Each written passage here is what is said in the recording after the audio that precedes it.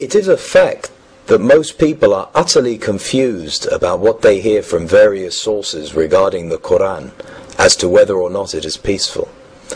We listen to Muhammadan Muslims reciting very conciliatory and harmonious verses from the Quran, and then we hear others which are the exact opposite. Can you elaborate?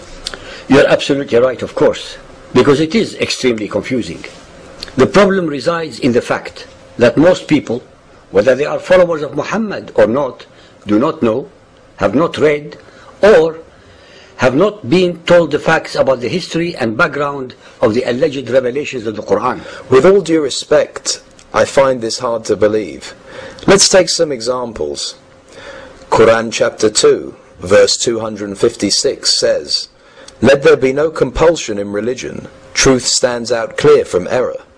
Or, chapter 109, verse 6, To you be your religion, and to me my religion. Or, chapter 15, verse 42, Allah is our Lord and your Lord. Unto us our works, and unto you your works. No argument between us and you. Allah will bring us together, and unto him is the journeying. By no standard of morality or logic can any fair-minded person call the above aggressive, hate-mongering or warmongering. You are, of course, 100% correct. But I have not yet explained the background that would unravel these anomalies and misunderstandings. May I continue? Go on then. What I am about to explore with you is not anti-Islamic propaganda, because this information can be found by anyone interested in the subject either on the internet or in the relevant books as they were and are written by the Muhammadan Muslim scholars themselves. Let me demonstrate. The alleged revelations of the Quran went through two very distinct periods with irreconcilable contents. The first period is called the Meccan period, starting in the year 610 AD and ending in 613 AD. During this period, Muhammad was a man alone against the whole of his own tribe, the Quraysh, as well as against every single other pagan Arab, bar the few family, friends, and slaves who believed in his message. Muhammad, after all, was actually trying to overthrow and overturn all their centuries old beliefs.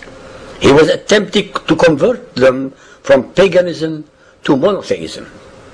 He was doing this by attacking, insulting, and denigrating all the beliefs and traditions of the Arabs that had existed for centuries.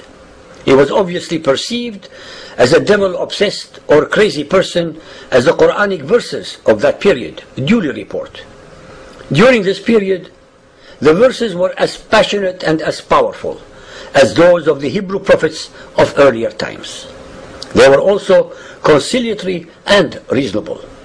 The verses you quoted earlier, each one of them and several more, originated during the Meccan period, the first and conciliatory period.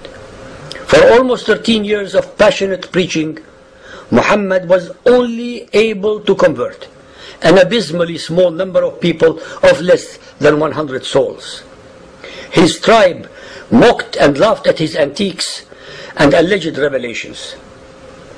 I use the term alleged because neither the Quran nor the Hadith tell us that anyone else besides Muhammad was a witness to any of Muhammad's declarations.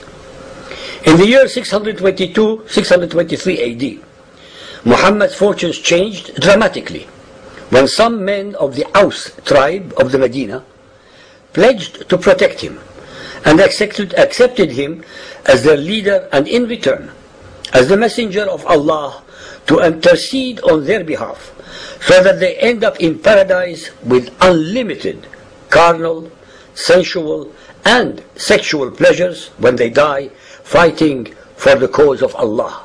That is, fi sabil Allah.